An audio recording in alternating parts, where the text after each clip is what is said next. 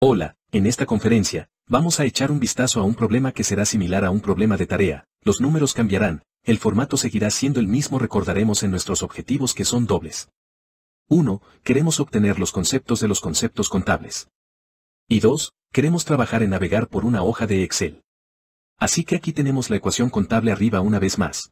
Y tenemos nuestro balance de prueba aquí, notarán que este lado del balance de prueba ahora se llama balance de prueba no ajustado, porque vamos a registrar las entradas del diario del proceso de ajuste en este caso.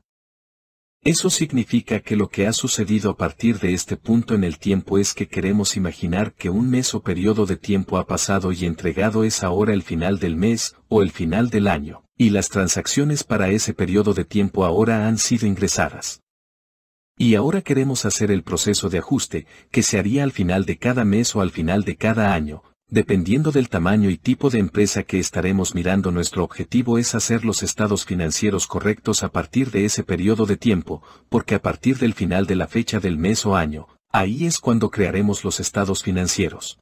Y así, a partir de ese periodo de tiempo, queremos que todo esté perfectamente en devengo tanto como sea posible para que luego pueda usarse para crear los estados financieros. Así que tenemos el balance de prueba no ajustado de este lado.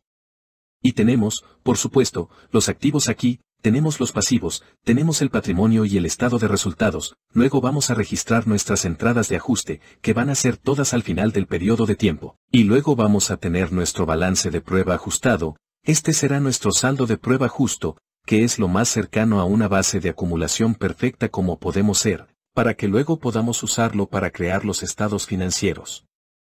Así que, por supuesto, vamos a registrar nuestras transacciones aquí.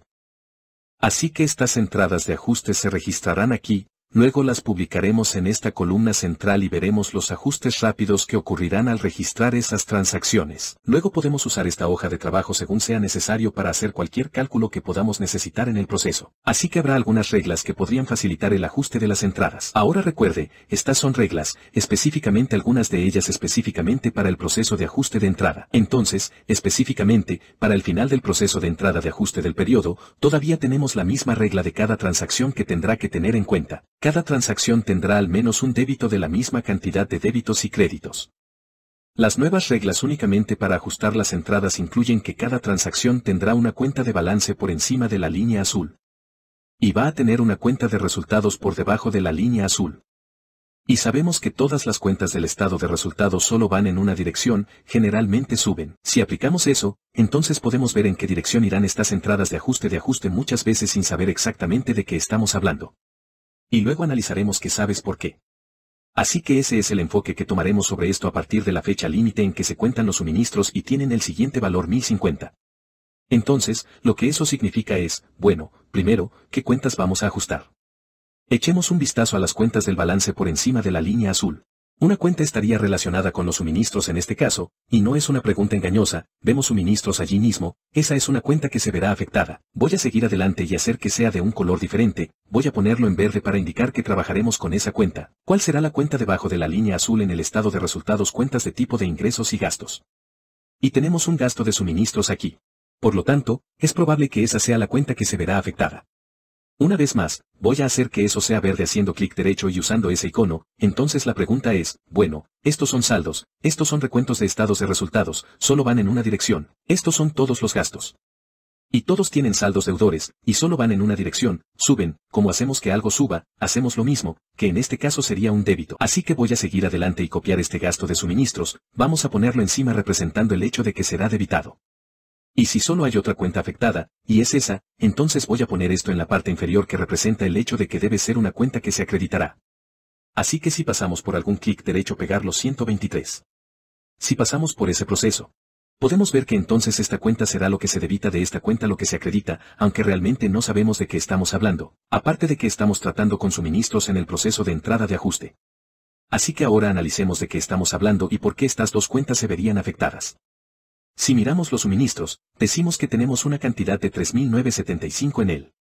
¿Cuál es la transacción que registra esa cantidad? Cada vez que el tenedor de libros compra suministros y el departamento de contabilidad compraría suministros? Están debitando de la cuenta de suministros aquí el activo no el gasto, y luego acreditan, efectivo o cuentas pagan problemas, les hemos dicho que lo configuren de esa manera y no registren el gasto. Ahora vamos a hacer el ajuste al final, para registrar la cantidad que se ha utilizado. Como sabemos cuánto de los suministros se han utilizado, lo contamos.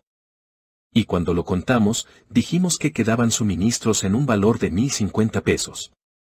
Así que eso significa que esta cantidad aquí debe bajar a la cantidad que contamos allí, la diferencia es lo que vamos a suponer que usamos y que, por lo tanto, debe gastarse porque lo consumimos el mes pasado, para ayudarnos a generar ingresos para el principio de coincidencia. Ahí es cuando debemos gastar los suministros.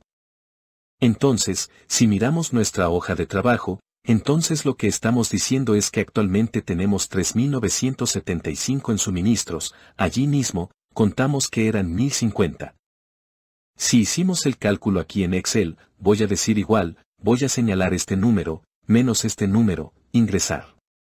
Entonces, esto, este 295, 2925, es lo que esto necesita pasar, para llevarnos al conteo físico de 1050. Así que esa será nuestra entrada de diario aquí. Por lo tanto, la entrada del diario debe ser de 9 a 5, y tanto un débito como un crédito. Así que vamos a debitar y acreditar a 9 a 5. Y eso debería reducir esto al recuento físico, físico de 1050. Veamos si ese es el caso así que primero publicaré el gasto. Así que aquí está el gasto aquí abajo en la celda de columna H20, diremos igual, y publicaremos este gasto, cuando presionemos Enter, esto subirá, nos sacará del equilibrio y reducirá los ingresos netos. Así que observe que los ingresos netos bajaron de 88.855 a 85.930. Y esos van a ser estos ingresos de cuentas, menos los gastos. Y luego estamos compuestos del otro lado aquí. Así que estamos en H7 dirá que es igual y luego vamos a señalar las cuentas de suministros. Ellos son el crédito, y esto es un débito, eso es un crédito. Son todo lo contrario.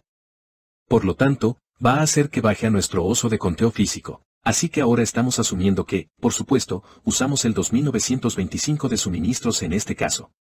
Ahora podrías estar pensando, bueno, eso podría no ser lo que sucedió, ¿qué pasa si se roba o se pierde o algo así? Eso podría suceder, la suposición es que se usó ahora, si fue robado o perdido. Y hay una diferencia significativa entre este mes y el mes pasado, podríamos haber sido puestos en medidas para dar cuenta de cosas como esa a medida que avanzamos. A continuación, se dice que a partir de la fecha de corte, la cantidad de efectivo recibida por adelantado del trabajo realizado es el siguiente valor. Así que este puede ser un poco más difícil para nosotros determinar qué cuentas están afectadas no dice exactamente suministros, y en este caso.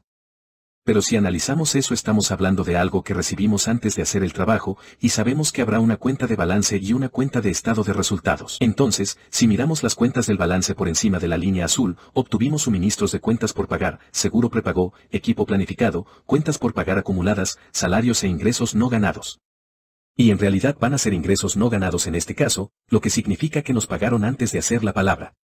A menudo, confundimos eso con las cuentas por cobrar, que es lo contrario, lo que significa que hicimos el trabajo antes de que nos pagaran. Así que este es un tipo de transacción más inusual que nos pagan antes de hacer el trabajo. Porque eso no sucede en todos los tipos de industrias. Por lo general, hacemos el trabajo y luego facturamos, pero es posible que recibamos un pago inicial. Podríamos ser como si estuviéramos vendiendo revistas o algo así, podríamos obtener una suscripción anual antes de darles la revista, o si vendemos entradas para conciertos o algo así. Vendemos una entrada antes de dar el concierto. Así que ahora, cuando eso suceda, le diremos al departamento de contabilidad Hey, vas a debitar efectivo y luego vas a acreditar los ingresos no ganados. Le vamos a decir al departamento de contabilidad Hey, usted va a debitar efectivo y luego va a acreditar los ingresos no devengados. No los ingresos porque aún no se han ganado y luego nosotros en el departamento de ajuste determinaremos cuánto se ha ganado.